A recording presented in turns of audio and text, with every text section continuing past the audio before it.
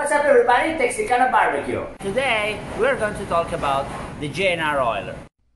This specific one is the Model 800 is a rotisserie automated smoker. J&R is proudly made in US in Mesquite, Texas. This specific one is a big boy.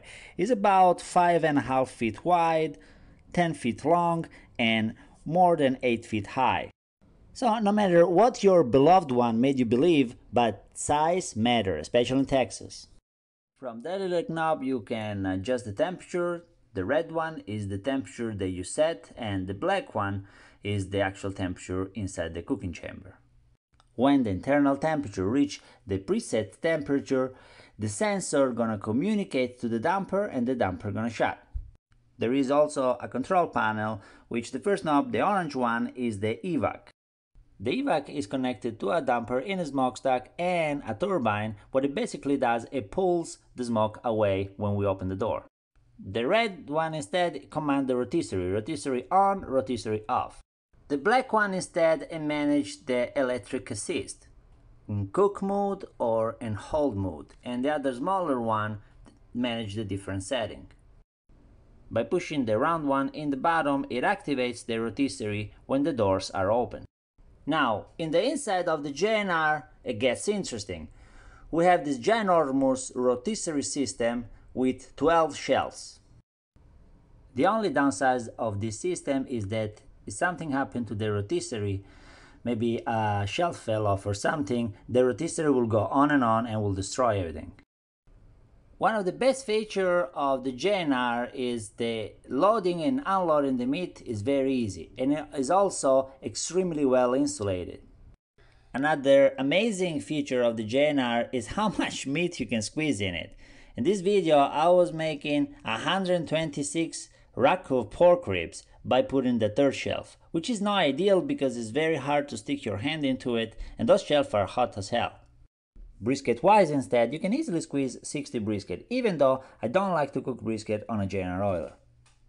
In the opposite side of the door, from that hole right there, it comes all the heat connected to the firebox. On the top instead, beside the vent, we have the heating element, which turn the J&R in a sort of ginormous oven.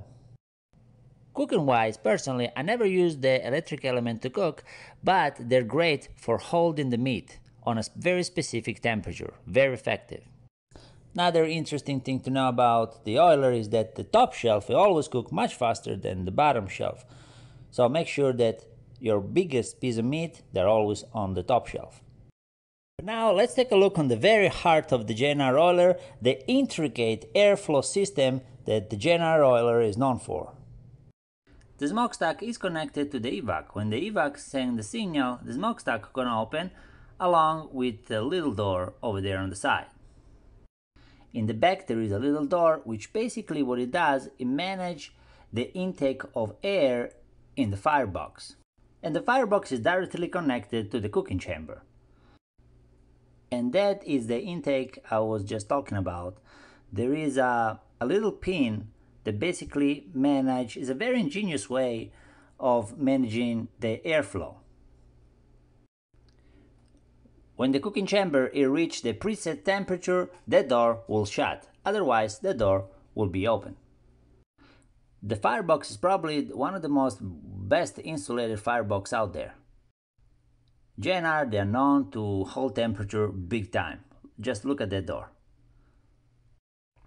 The heat and the smoke will travel from the sort of L-shaped smokestack into the cooking chamber and when needed, where is the red leverage over there, the smokestack will open and will connect to a turbine which will basically pull the smoke away and the heat from the cooking chamber. In the center of the bottom of the cooking chamber there is the spigot which you can dump all the juices from the cooking process. But let's try to understand better the flow of the J&R. The flow of the J&R it seems complicated and it really is.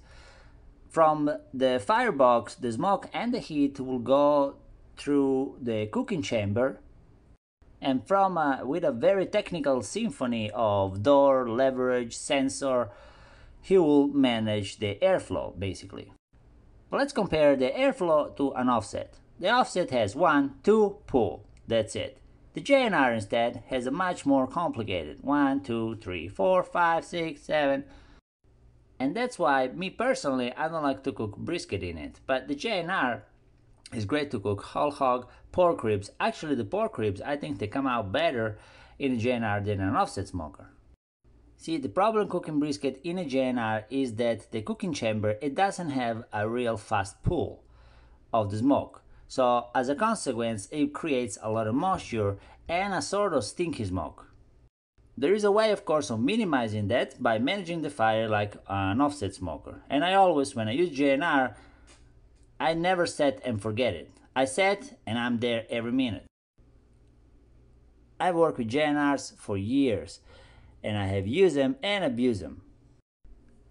Long story short, I think that the J&R, or my personal opinion, is great for certain kind of meat and is not so great for others. And even though this smoker it costs $50,000, I think is worth it. And what do you think? Do you ever use the J&R Oylers? Let me know in the comment section. And that'll be all for today. You can also follow me on Instagram and Facebook as Texicana Barbecue. Support my channel by subscribing and sharing my content, and I'll see you soon. Ciao!